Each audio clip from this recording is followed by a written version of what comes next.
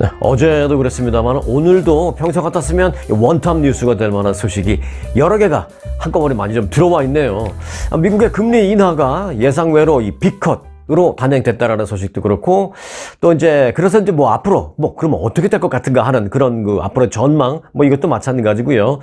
자 그런 소식을 비롯해서 이제 레바논에서는요 사람들이 그 차고 있던 삐삐 뭐 한국에서는 삐삐라고 그러고 미국에서는 뭐 pager라고 했지만 그 삐삐가 수백 명이 동시에 폭발을 하는 등 사실 뭐 저도 듣도 보도 못한 그런 사건이 발생했습니다.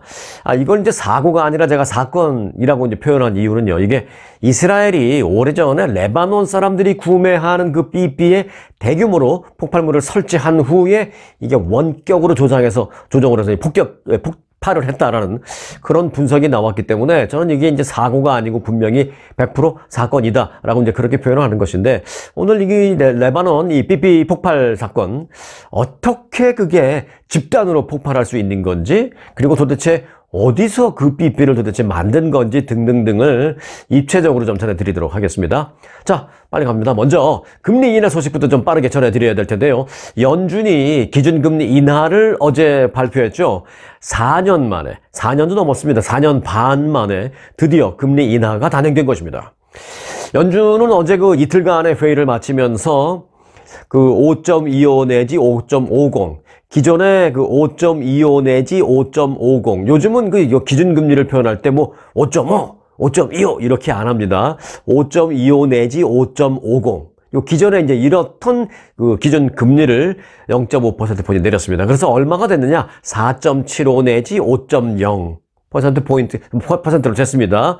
그러니까 제가 뭐 며칠 말씀드렸죠. 0.25% 포인트를 내리면 어그 저 small cut, small cut, baby cut, 뭐 이렇게도 표현하고요. 그런데 이제 0.5%포인트를 내리면 big cut, 이렇게 한다. 그리고 0.75도 뭐 있습니다만, 이거는 뭐, 뭐, giant cut, 뭐 이렇게도 말하기도 하고요. jumbo cut이라고 하기도 하고. 그런데 일단 big cut, 0.5%포인트 내리기로 결정했습니다. 그래서 지금 앞으로 어떻게 되느냐, 4.75% 내지는 5.0 퍼센트 이렇게 되는 겁니다.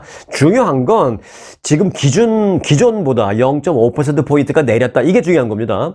자, 이제 대폭 인하를 의미하는 big cut이라고 이제 말씀드릴 수 있는데 연준은 특히 이제 어제 금리 인하를 발표하면서 뭐라고 말했느냐? 이제 과정의 시작이다. 라고 표현했습니다. 이제 첫 번째 발걸음을 띄었다. 이 얘기죠. 앞으로 금리 인하가 더 이어질 것이다. 뭐 이런 걸 시사한 것입니다. 실제로 연준은 그 올 연말에 기준금리 전망치를 발표했는데 올 연말이 되면 그러면은 기준금리가 얼마나 될 것이냐 이걸 이제 전망을 했는데 종전에는 5.1%가 전망치였습니다. 그런데 이게 4.4%로 낮춰졌습니다. 올 연말이 되면 평균적으로 이자율이 4.4%가 될 것이다라고 연준이 그렇게 전망을 한 거죠. 결국 이제 연내에 그러면 뭐냐? 0.5%포인트가 한 번 더 추가적인 인하가 있을 것이다. 이걸 연준 스스로 예고를 한 것입니다. 자, 그리고 이제 그러면 내년 이자율의 전망치는 어떻게 했느냐? 내년 말, 그러니까 뭐 내년 9월, 뭐 내년 10월, 11월 이때쯤 내년 말이 되면은 어떻게 예상을 하느냐? 연준이 뭐라고 예상했냐면요. 내년 말이 되면 이자율 평균치가 3.4%가 될 것이다. 이렇게 예상했습니다. 자, 그럼 1년 더 가볼까요? 내후년, 그러니까 2026년 말이 되면 연준은 어떻게 예상하느냐? 그때 이자율은 2.9%로 예상한다. 라고 어제 전망치를 그렇게 발표했습니다. 자, 이제 뭐, 뭐, 2.2%대로 앞으로 한 2, 아, 3년 지나면은 2%대로 내려갈 수도 있을 것으로 연준은 예상하고 있다. 이게 중요한 건데요. 자, 이번 금리 대폭 인하 결정은 인플레이션을 좀 붙잡기 위한 긴축 통화 정책에 사실상 이제 마침표를 찍었다. 이제 금리 인상은 이제 노모 당분간은 뭐 마침표를 찍었다라고 보면 되겠, 되겠습니다. 자, 그런데요. 금리 인하 발표가 나자마자 정치적인 해석도 아주 분주합니다. 민주공화 양당. 일단 그 정치적인 해석과 그 입장 좀 관심을 끌고 있는데 오는 11월 5일 대선을 48일 앞두고 어제 이루어진 이번 금리 인하에 대해서 일단 그 민주공화 양당 진영은 좀 엇갈린 입장을 보이고 있습니다. 일단 바이든 행정부의 일원으로 지금 민주당의 대통령, 부통령이면서 대통령 후보인 그 카멜라 해리스 부통령은 어, 인플레이션 완화 노력의 성과 그 성과로 우리가 평가받을 것으로 이렇게 알고 있다. 이렇게. 그러니까 우리가 현 정부가 인플레이션을 잡기 위한 노력을 많이 했기 때문에 드디어 이게 성과를 내고 있는 것이다. 이렇게 자평할 것으로 예상되고 있는 반면에 아, 트럼프 전 대통령은 정치적으로 민감한 시기에 상대 후보에 힘을 실어주는 이런 결정이다. 매우 불편하다라는 그런 표현을 표출할 것으로 예상됩니다. 왜냐하면 아, 트럼프 전 대통령은 그 대통령 선거 있기 전에 연준이 금리를 그렇게 인하하는 것은 현 정부에 힘을 실어주는 것이기 때문에 나는 선거 있기 전에 인하 발표는 반대한다. 뭐 이런 입장을 사실 뭐 여러 번 밝힌 바 있기 때문에 얼마든지 그렇게 우리가 예상해 볼 수 있습니다. 자, 여하튼 이제 이제 금리는 생각보다 좀 빠르게 인하될 것으로 예상되고 있습니다. 그런 만큼의 자, 여러분들 집을 사실 때나 또는 뭐 자동차를 사실 때 인하된 이자율로 파이낸싱을 하게 될 전망이고요. 특히 이제 리파이낸싱 재이용자도 많이 늘어난 전망입니다. 뭐 올해 또는 작년, 특히 이제 작년 올 초 이때 특히 작년 말에 얼마나 높았어요. 거의 8%에 가까운 이자율이었잖아요. 그런 걸로 할 수 없이 뭐 집이나 자동차나 뭘 사실 때 융자하신 그런 분들 당연히 재융자 하셔야죠. 낮아진 이, 이자율로 다시 융자를 하셔야죠. 그래서 이제 리파이낸싱 같은 게 많이 늘어난 전망입니다. 그런데 어, 이자율이 낮아졌으니까, 아, 나 당연히 refinancing 해야지. 단순하게 그렇게 생각하시면 안 되고요. 한 템포 워워 하시고 좀 생각해 볼 필요가 있습니다. 뭐냐면, 미리 좀 체크해야 해봐야 될 것은 그 재융자, refinancing의 경우에는요, 아, 이 같은 금리 인하가 이번에 있을 것을 다 미리 예상해서 선제적으로 이미 좀 선 반영된 그런 경우도 많이 있습니다. 그렇기 때문에 지금 당장 refinancing 하는 게 좋을지 아닐지 한 번쯤 생각해 봐야 됩니다. 그리고 내가 융자를 받았을 때 몇 퍼센트를 받았는지 그리고 이제 좀 비교를 해 봐야 되겠죠. 과연 리파이낸싱도 그냥 하는 게 아니죠. 융자 비용이 다 들어가니까. 그리고 이제 앞으로 얼마나 남았나 이런 거 다 따져봐야 됩니다. 단순하게 이자율 차이가 얼마지? 이것만 모르는 게 아닙니다. 그래서 몇 가지를 좀 생각을 해봐야 되는데 어, 이미 지금 리파이낸싱을 한다라면은 사실은 한두 달에 좀 선 반영된 면이 있어서 이미 지금 조금 내려간 면이 있거든요. 그래서 이제 지금보다는 만약에 연말에 한 번 더 연준이 뭐 시사를 했잖아요. 0.5%포인트 big cut 한 번 더 할 것 같이 얘기를 했기 때문에 아, 연말에 한 번 더 big cut을 기다렸다가 하는 게 좋을까? 뭐 이런 것도 한 번 좀 생각해 볼 필요가 있습니다. 그 따져볼 게 뭐 한두 가지가 아니기 때문에 어, 적어도 좀 전문가와 상의를 해서 내 지금 시, 정확한 situation 그리고 앞으로 어떻게 낮아질지 또 내가 융자가 앞으로 얼마나 남아있는지 기간이 뭐 여러 가지 등등등 그래서 이제 좀 전문가와 상의, 상의하는 게 좋은데 이 융자와 관련해서는 혹시 질문이 있으시다면 제가 아주 신뢰하는 30년 전문가가 있습니다. LA 계신 분인데 필요하시면 여러분들에게 이제 소개를 해 드릴 수도 있고 VIP로 좀 잘 융자를 해 달라 그리고 한번 상담이라도 좀 뭐 재용자나 뭐 이런 걸 하지 않더라도 궁금한 게 있으면 뭐 상담으로 전화도 하든지 뭐 이메일로 하든지 상담이라도 좀 무료 상담할 수 있게 여러분들이 원하시면 뭐 제가 연결해 드릴 수 있고 그러니까 한번 참고해 주시기 바라겠고요. 만약에 필요하신다면 댓글로 문의를 주시면 제가 연결을 해 드리겠습니다. 자, 그러면 레바논에서 발생한 삐삐 집단 폭발 사건으로 좀 넘어가겠습니다. 이 사건 개요부터 좀 알아볼게요. 그 레바논 전역에서 친이란 무장단체 헤즈볼라라고 하죠. 그 레바논 전역에서 그 헤즈볼라 대원들이 주로 쓰는 무선 호출기 수백 대가 동시에 폭발했습니다. 그래서 3천 명에 가까운 사상자가 발생했습니다. 이 무선 호출기는요. 수십 년 전에 우리들도 많이 사용했죠. 이 cell phone 나오기 전에 일명 뭐 한국에서는 삐삐라고 했지만 우리들은 뭐 비퍼, 비퍼 그렇게 얘기했고요. 사실은 미국에서는 공식적인 용어로는 뭐 pager라고 했는데 다 아실 것입니다. 그거 뭐 같은 겁니다. 수백 대의 무선 호출기가 동시에 폭발하는 전대미문의 사건이 발생했습니다. 저도 이 차고 있던 삐삐가 동시에 한꺼번에 터졌다라는 얘기는 제가 뭐 20, 30년 가까운 기자 생활 중에 전, 전 정말 처음 봅니다. 처음 봐요. 정말 이런 일이 있을 수도 있나? 저도 처음 봅니다. 그래서 이제 3천여 명의 사상자가 발생해서 피해를 많이 입었는데 그 헤즈볼라가 이스라엘을 배후다라고 지목하면서 이건 테러다 라고 하면서 대대적인 보복을 다짐했습니다. 가자전쟁 발발 후약 1년간 무력적인 공방전을 주고받았던 이스라엘과 그리고 헤즈볼라 양측 간의 그 갈등이 앞으로 이거 이 사건 때문에 전면적으로 치닫지 않을까라는 그런 그 우려가 좀 커졌다라는 분석이 나오고 있습니다. 아, 미국은 일단 이번 사건에 대해서 좀 발을 좀 빼는 모양새예요. 우리는 그런 그런 어떤 사건을 미리 알지 못했다. 라면서 당사자들끼리 외교적으로 좀 제발 해결하기를 당부한다라고 말했습니다. 미국은 아주 골치 아플 거예요. 지금 뭐 48일 뒤에 선, 대통령 선거가 있는데 자꾸 이, 이런 일이 발생하면 현 정부로서는 아주 골치 아프죠. 그래서 우리는 절대 몰랐다라고 있는 그런 입장이고요. 유엔도 몰랐다라고 하면서 긴장이 고조되면 안 된다. 외교적으로 해결하라라고 유엔도 그렇게 말하고 있습니다. 자, 이번 사건은 현재 시간으로 17일 오후 3시 30분에 일제히 그 삐삐를 차고 있던 수백 명이 동시에 일제히 발생했습니다. 오후 3시 30분부터 이제 그런 일이 발생했는데 레바논 그러니까 동시라고 해서 뭐 다다닥 한꺼번에는 아니고 약간의 시차는 있지만 몇 분씩 또는 뭐 5분, 10분씩 차이가 있지만 여하튼 뭐 우리 외부에서 볼 때는 뭐 동시에 발생한 거죠. 레바논의 수도 베이루트를 비롯해서 남부 지역 티레 그리고 서부 지역 헤르멜 등 전국 각지에서 군부대에서 근무하는 뭐 대원들 또는 공공기관에서 근무하는 사람들 뭐 이런 사람들의 삐삐, 페이저, 뭐 비퍼 이게 수백 개가 동시에 폭발하면서 발생했습니다. 이 폭발로 그런데요. 이 어린이를 포함해서 최소 12명이 사망하고 2,800여 명이 부상을 입었습니다. 이 가운데 또 한 300여 명은 현재 위독한 상태다라고 알려지고 있습니다. 저는 참 이 이스라엘이 정말 배후라면 이건 정말 비난받아 마땅한 일이라고 생각합니다. 왜요? 이거는 이 삐삐라는 것은 물론 어른들도 차고 있고 헤즈볼라 대원들도 차고 있지만 민간인도 차고 있을 수 있고 또 차고 있는 사람 옆에 어린이들도 있고 막 그렇거든요. 대부분 뭐 민간인 어린이들 뭐 전혀 상관없는 그런 사람들 이 사람들이 다 한꺼번에 지금 다 동시다발적으로 피해를 입은 겁니다. 어린이들도 마찬가지고요. 이 온라, 온라인에 올라온 그 영상과 외신 기자들이 전한 그 증언 등을 보니까요.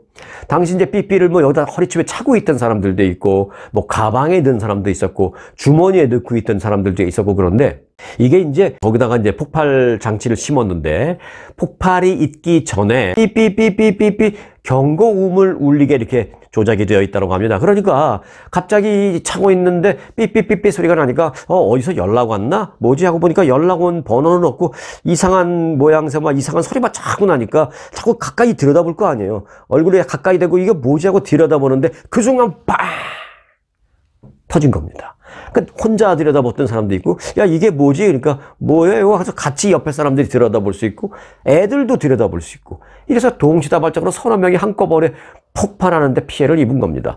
더더욱이 이 실명한 사람들이 많답니다. 왜? 이걸 뭔가 이렇게 들여다보다 갑자기 펑 터지니까 얼굴 다치고 특히 실명하고 이런 피해자들이 굉장히 많다라는 것입니다.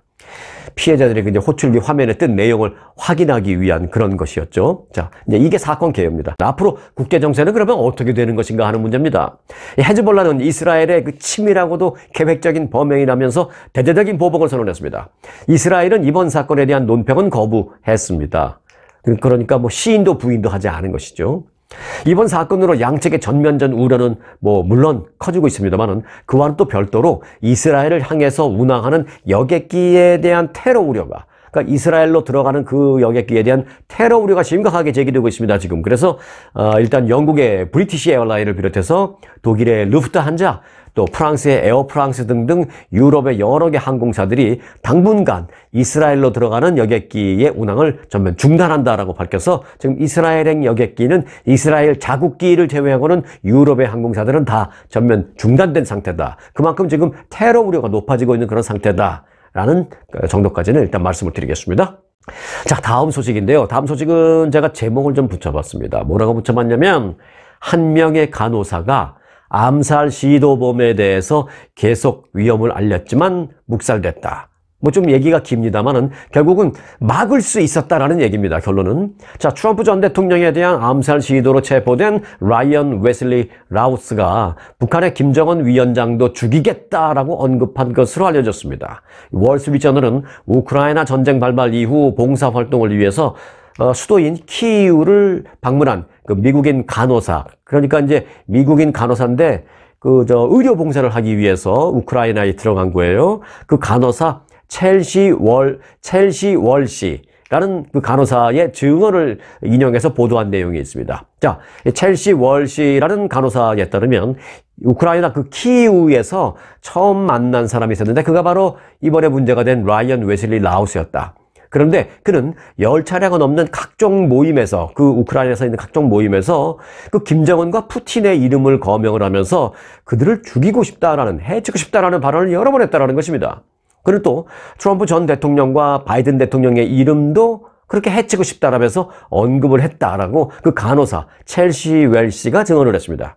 그런데 이 월, 월시라는 간호사는요, 이제 그런 생각만 하고 그냥 아무것도 안 한 게 아니라 자신의 이런 생각을, 그러니까, 어, 저, 그, 그 라우스라는 사람의 그런 발언을 막 듣고 저 사람 참 이상한 사람이네 라고 생각을 한 겁니다. 근데 그냥 웬만하면 참 이상한 사람이네. 아유, 뭐난 가까이 하면 안 되겠네. 하고 그냥 가까이 안 하는 정도로 끝내잖아요. 그런데 이 간호사 그렇게 하지 않았습니다. 참 이상한 사람이라는 생각을 하고 행동에 옮겼습니다. 뭐냐? 자신의 그런 생각과 판단을 돌아와서 미국 당국에 적극적으로 전달한 것으로 알려졌습니다. 이 월식 간호사는 그 라오스라는 그 남자가 위험한 인물이다라고 그때부터 우크라이나에서부터 판단을 했고 그래서 2022년 6월에 미국에서 귀국한 후에 귀국 과정에서 그 공항에서 돌아오자마자 공항에서 워싱턴에 있는 그 덜레스 공항에서 자신을 신문한 왜그 입국을 하게 되면 입국 신문 하잖아요. 미국 사람도 미국 들어올 때 입국 신문 하죠. 그때 국경 세관 보호국 요원에게 이런 사실을 알렸다라고 합니다. 저 사실은 제가 우크라이나에서 있다 왔는데요. 그 키우에서 많은 사람을 만났지만 그쪽에서 만난 사람 가운데 그 미국 사람이었는데 백인 남성이었는데 어, 이런 이런 말을 하는데 굉장히 이상하다는 생각이 들었습니다. 좀 위험한 인물인 것 같습니다. 라고 신고를 했다고 합니다. 이 월시 간호사는 자신이 한 달 반 동안 키우에 머물면서 알게 된 그 미국인 중에 위험하다는 인상을 받은 사람이 여러 명 있는데 한 10명 됩니다. 라면서 이 라오스라는 사람의 이름이 포함된 그 10명의 명단을 리스트로 작성해서 채출했다는 것입니다. 그 공항에서 미국에 들어오면서. 트럼프 전 대통령의 그 암살을 시도했던 그 라우스라는 사람은 이 명단 중에서도 가장 위험한 인물로 그 간호사가 분류해서 이렇게 제출했답니다. 10명 쫙 했는데 전 10명 다 좀 이상하고 위험해 보이지만 그 중에서 특히 이 사람 체크를 하고 이 사람 정말 위험해 보였어요. 라고까지 해서 제출을 했답니다. 특히 월시라는 간호사는 그 라오스를 반사회적인 인물로 따로 분류해서 당국에 신고했다고 합니다. 체코에서. 하지만 이 같은 신고 이후에도 국경보호국 등 당국은 그 라오스에 대해서 특별한 조치를 취하지 않은 것으로 보입니다. 이 월시 간호사의 신고 그렇게 아주 적극적으로 이 열 사람 다 위험하고 그중에서 요 사람 요 사람은 정말 위험해 막 별표까지 쳐서 제출을 했는데도 당국은 아무런 조치를 그 라오스라는 남성에게 아무것도 취하지 않았습니다. 그런데 이게 다가 아닙니다. 월시 간호사는요, 지난해 라오스가 그 시리아 난민을 우크라이나 용병으로 불러오는 그런 계획이 나한테 있다. 이런 계획을 추진하려고 한다. 라는 얘기를 듣고 또 다른 사람도 그런 어, 너 이런 얘기 들었어? 라오스가 그런 거 한대 뭐 이런 돌아다니는 그 소문을 들었습니다. 그 소문을 듣자마자 다시 한번 미국 정부에 신고를 했습니다. FBI와 인터폴에 온라인에 들어가서 신고를 다 했습니다. 그 온라인 FBI 뭐 인터폴 여기 온라인에 들어가서요. 라오스와 그리고 또 다른 몇몇 인물들에 대한 위험성, 이 정말 위험한 것 같다라고 적극적으로 신고를 했습니다. 그런데 이번에도 FBI는 전혀 움직이지 않았고 아무런 조치도 취하지 않았다라는 것이 이 월시 간호사의 주장입니다. 한편 그 국경보호국과 FBI는 이 월시 간호사의 이 같은 주장에 대해서 뭐라고 하느냐? 역시 또 노코멘트. 아무런 입장을 밝히지 않고 있습니다. 만약에 그때 월시 간호사의 말을 듣고 무언가라도 조치를 취했다면 아니 조치를 취하기 전에 한 번이라도 정말 FBI 요원이나 누군가가 집에 찾아가서 방문해서 뚝뚝뚝 두들기고 아 FBI에서 나왔는데 아 당신 왜 우크라이나 갔다 오지 않았습니까? 혹시 우크라이나에서 이런 이런 말을 했습니까? 또는 이런 이런 계획이 있다라고 말한 적이 있습니까? 그럼 뭐 아니라고 부인하겠죠. 뭐 부인한다 하더라도 그런 정말 질문이라도 한 번이라도 하고 돌아섰다면 실제로 그가 아마 행동에 옮기지 못했을 가능성도 매우 높습니다. 하지만 그조차도 하나 하지 않았으니 정말 연방 사법 당국을 우습게 보고 자기가 하고 싶은 짓을 다 한 거 아니겠습니까? 그래서 정말 막을 수 있었던 일이 발생했다. 이 월시 간호사 한 사람의 힘에 의해서 막을 수 있었던 일을 정말 연방정국이 아무것도 안 하면서 못 막았다라는 그 안타까운 소식을 전해드렸습니다. 자, 이번에는 좀 재미있는 소식, 반가운 소식 전해드릴게요. 이 백악관에서는요, 코리안 추석 행사가 엊그저께 성대하게 열렸습니다. 민족의 대명절, 지난 17일이 추석이었잖아요. 그래서 추석날 지난 17일, 백악관에서는 한국 음식 냄새가 가득 찬 가운데 이 아리랑 노래소가 울려 퍼지는 가운데 코리안 추석 페스티벌이 열렸습니다. 미 육군 군악대 대원들 중에서 거기 한인들 대원들 꽤 있거든요. 그래서 미 육군 군악대 대원들 중에서 한인 대원들로만 구성된 펄싱스 오운이라는 그 그룹 거기서 한인 미 군악대 예, 그 에스더 강 리더가 있는데 그 리더 에스더 강 하사가 미국 군복을 멋지게 입고 나와서 한국말로 아리랑을 아주 힘차게 불렀습니다. 그러자 뉴저지주, 뭐 이걸 로스앤젤레스, 그래가 저기 하와이 등등 미 전역에서 초청을 받아서 참석한 이 100여 명의 한인들은 그러니까 뭐 한국계 미국인들이죠. 한인들은 아주 감격스러운 표정을 감추지 못하고 그 에스더강 하사의 아리랑 노래가 울려 퍼지자 눈물을 흘리는 한인들도 있었습니다. 미국으로 한인들이 이민을 온 지 120여 년이 지났잖아요, 지금. 그 120여 년 만에 처음으로 백악관 주최로 백악관에서 처음 추석을 축하하는 행사가 열렸기 때문에 정말 눈물 난만, 난만도 하죠. 참석한 한국계 미국인들은 하, 실감이 나지 않는다라는 말을 뭐 반복하면서 감격스러워했습니다. 아, 뭐 미국 정부의 대표 인사로는 어, 그 해리스 부통령이나 바이든 대통령은 참석하지 못했어요. 대, 대신에 이제 축사를 메시지를 축하 메시지를 보냈죠. 미국 정부 대표로 참석한 사람 중에 가장 높은 사람은 이제 중국계 미국인인데요. 캐서린 타이라고 미국 무역 대표부 대표입니다. 이게 이제 차관급입니다. 굉장히 높죠. 차관급이고 이제 특히 이제 이 사람을 보낸 이유가 아마 중국계 미국인이라 보냈을 것 같다라는 생각도 합니다. 그 캐서린 타이 무역 대표부 대표가 나와서 이렇게 말했습니다. 여러분들 저는 코리안 추석 페스티벌을 행사를 한다는 얘기를 듣고 초청을 받고 기뻤고 또 그 프로그램 이, 이 내용이 나왔을 때 이 프로그램을 받아 보면서 꼼꼼히 읽어 보면서 여러 차례 눈물을 흘렸습니다. 라고 말했습니다. 자신도 중국계긴 하지만 같은 동양계로서 와 백악관에서 이런 일이 있을 수 있구나라는 걸 생각하면서 이 프로그램 그저 브로셔를 보면서 여러 번 눈물을 흘렸다라고 합니다. 그 순서에 다 있을 거 아니에요. 뭐 한국말로 아리랑을 부른다. 그리고 한국 어린아이들이 와서 뭐 합창을 한다. 또 한국 무용을 한다. 또 한국 음식을 먹는 행사가 쭉 있을 거 아니에요. 꼭 한국, 차이니스 뭐 이런 걸 떠나서 그 내용을 쭉 보면서 눈물이 났다는 것입니다. 그러면서 아이들의 공연을 보면서 우리가 지금 하고 있는 일, 그리고 우리가 왜 그 일을 하고 있는지에 대해서 다시 한번 깨닫게 됐습니다. 라고 앞에 나와서 축사를 그렇게 했습니다.